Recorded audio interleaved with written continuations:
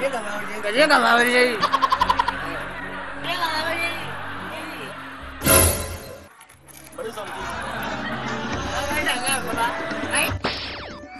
Thank you.